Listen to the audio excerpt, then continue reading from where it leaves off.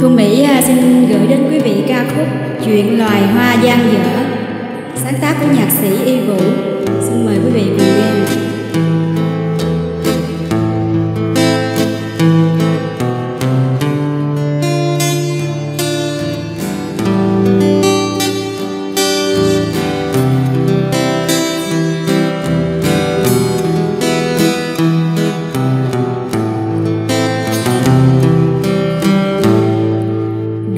dòng trang xanh cuối, thơm rừng rừng nước mắt, không loài hoa tím thương đau.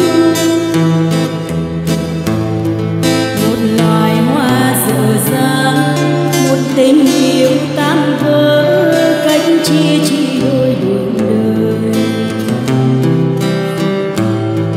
Còn gì